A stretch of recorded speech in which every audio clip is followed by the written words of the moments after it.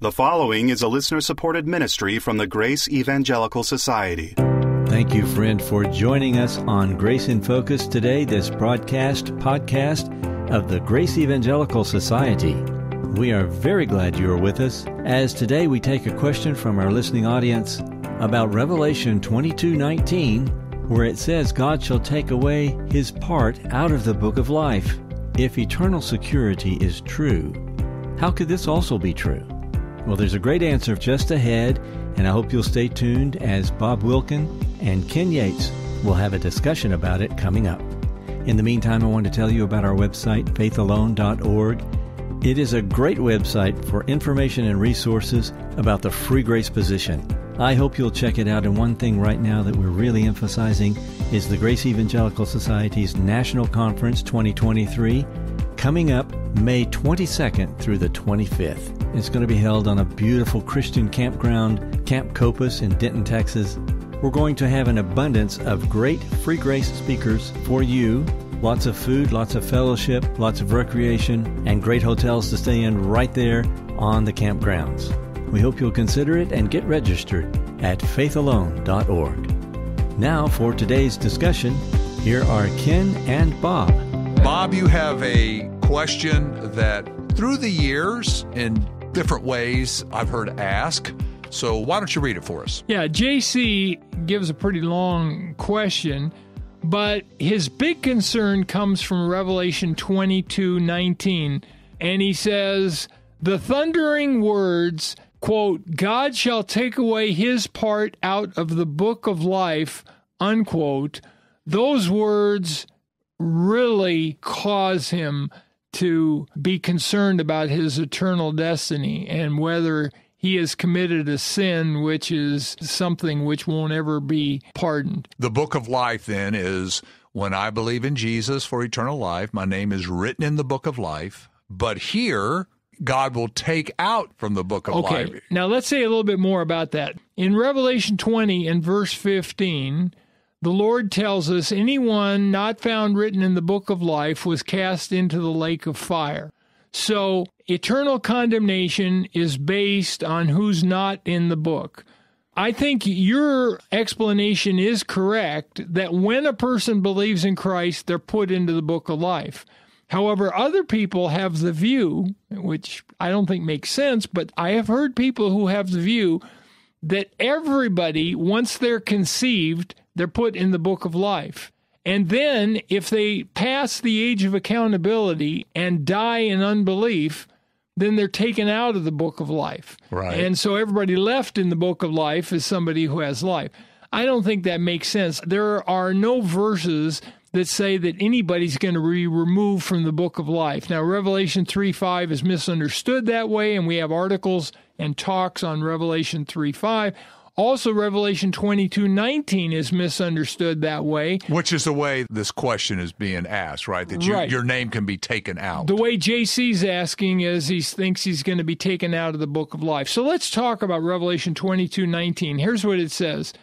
Starting in verse 18, for I testify to everyone who hears the words of the prophecy of this book. If anyone adds to these things, God will add to him the plagues that are written in this book. And then verse 19, And if anyone takes away from the words of the book of this prophecy, God will take away his part from the book of life, from the holy city, and from the things which are written in this book. Okay, so what a lot of people understand there is if you add to the book of Revelation, and a lot of people expand this to all of Scripture, then God's going to curse you.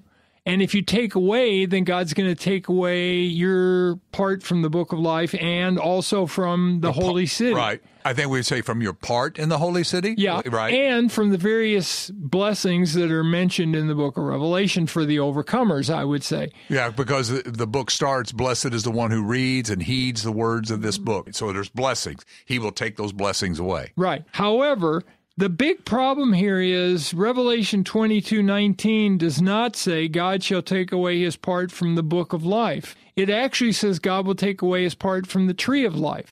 And so this is just a terrible translation. What this comes from in the King James Version of the Bible, Erasmus only had a handful of Greek manuscripts. And he relied a lot on Latin. Some of those manuscripts didn't even cover a verse, so he would go to the Latin Right. Vulgate. Yes. And he would translate the Latin Vulgate into English. So the texts he had were pretty good on everything but the book of Revelation.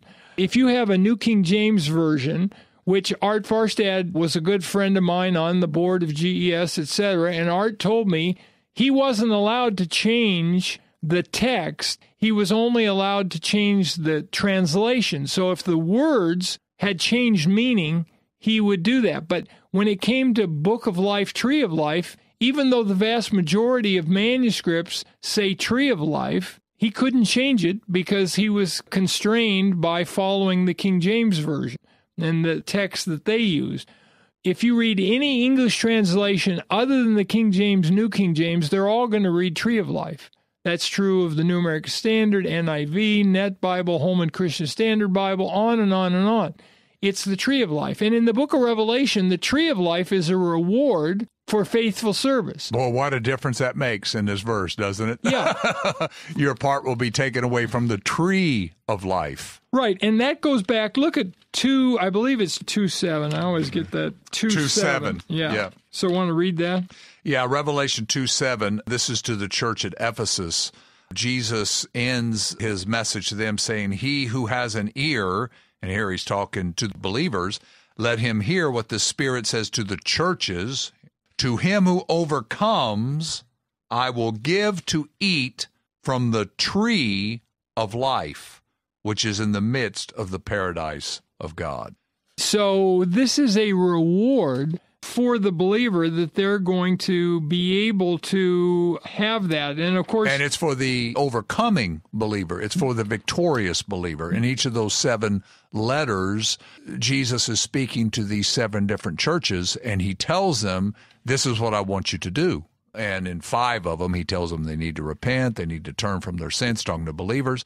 And if you overcome, if you do the things that he tells you to do, here's your reward. And so the tree of life, according to the beginning verses in chapter 22 of Revelation, it doesn't just have one fruit. It has 12 different fruits. Each month, right? So January there's one fruit, February another fruit, March another fruit. It's going to be like fruit of the month club, right?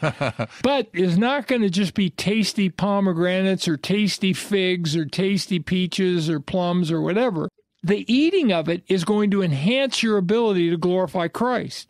in some way, which obviously we don't know all the details here, but this idea of eating it is it's going to be a reward, maybe an intimacy with Christ, a more knowledge or more of an abundant experience of life in the kingdom. it's going to lead to enhanced life. And by the way, in 2219, he not only says take away his part from the tree of life, but also from the holy city.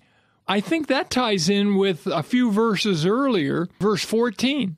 Blessed are those who do his commandments that they may have the right to the tree of life I noticed tree of life there. Yeah. and enter through the gates into the city. Notice you have those two things mentioned in both 14 and 19. That's a strong, strong argument to me that it should be tree of life in verse 19. Okay, now what is it in the Old Testament? The gates of a city were the place of honor. That's where judgment took place. That's where the elders would gather. It's where business was taking business place. Right, took place. So it appears that what Revelation twenty two fourteen is saying is that only the overcomers get to go through the twelve gates.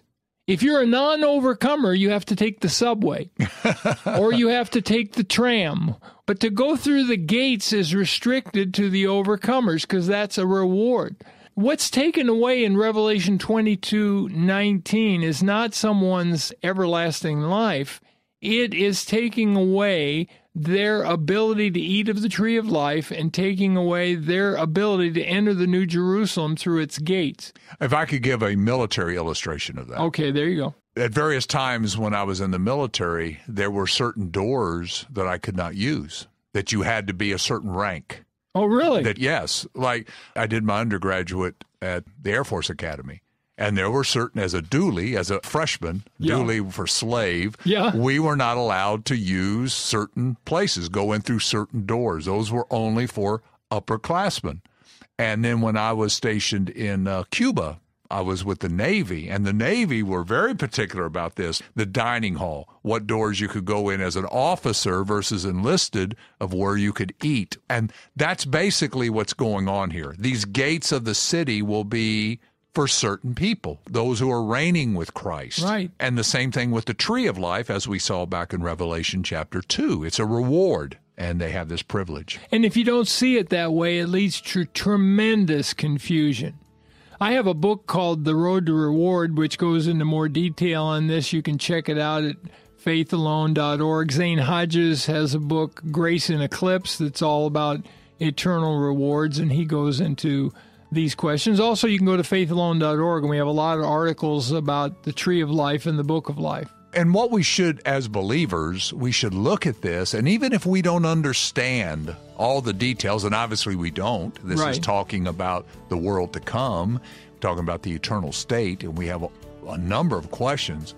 It should cause us to say, I hope the Lord, when He evaluates my life, will say that I honored Him in such a way that I can eat from the tree of life and enter in through these gates in order to serve Him and to serve others more effectively in the coming kingdom. And so the issue is we need to stay watchful in light of his soon return so that we'll hear the blessed words, Well done, thou good and faithful servant. And and in this question, Yes. we'll be able to eat from the tree of life. that goes along with the Absolutely, that's part of- approved believers, the overcoming believers. Well, this is great. Thank you so much, JC, for this great question. And let's all Keep grace in focus. Bob Wilkin's great book, The 10 Most Misunderstood Words in the Bible, is available half price right now in the GES bookstore, faithalone.org.